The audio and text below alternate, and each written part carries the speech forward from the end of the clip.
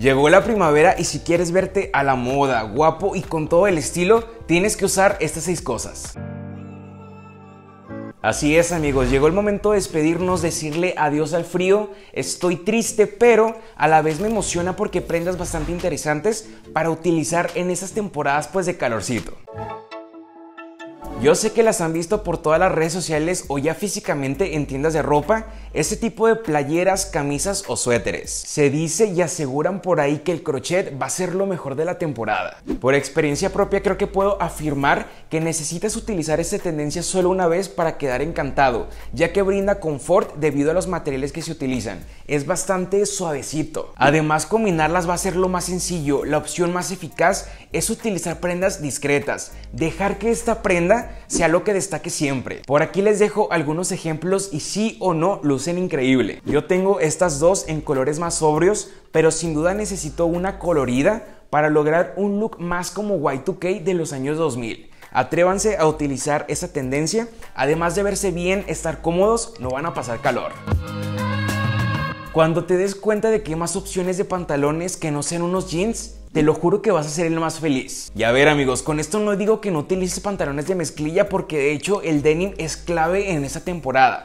Pero date la oportunidad de ver pues para otros lados, probar cosas diferentes. Los pantalones wide leg un poquito más anchos, más flojos, más frescos son la mejor opción para utilizar en estas temporadas de primavera-verano para mí son un super sí, cómprenselos y al menos les recomiendo que tengan uno. Lo puedes vestir con una simple playera oversize, una camisita, una tank top, un suéter y mira, te vas a ver 20 de 10, hermano. Yo tengo estos dos igualmente en colores básicos, lo cual me da oportunidad de combinarlos más y tener más opciones a la hora de vestir. Vean lo ancho de esa pierna con tenisitos, híjole, esto se ve increíble.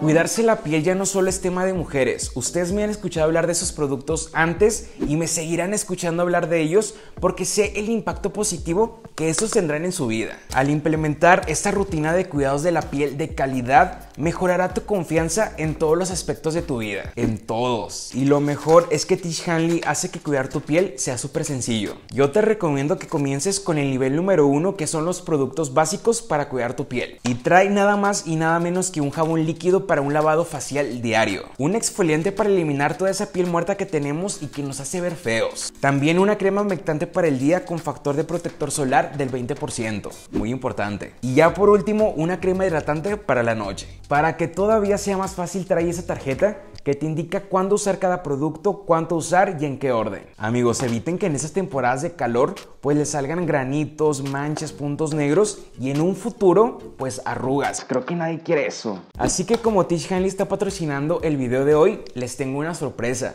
Si le pican al primer enlace que les dejo en la descripción, les van a hacer un 30% de descuento en su primera cajita y aparte les van a enviar algo completamente gratis. No la piensen mucho, píquenle y comiencen a cuidar su piel.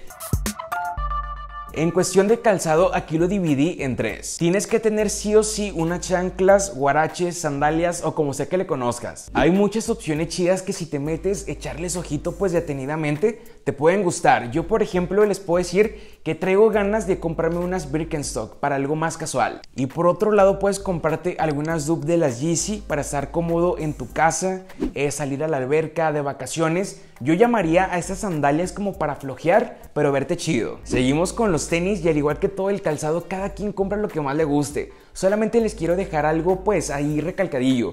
No se fijen mucho en si el calzado ya se está quemando, si lo están utilizando mucho las personas, si ya pasó de moda. Si les gusta algo, cómprenselo, no se queden con las ganas de tenerlo por lo que dicen los demás. Y por último, al igual que los pantalones, usen variedad. Y creo que los mocasines son una gran, pero gran opción. Es algo que está en mi lista de deseos. Me los voy a comprar y les voy a hacer un video para que ustedes sepan cómo combinarlos. Denle like si quieren ver ese video.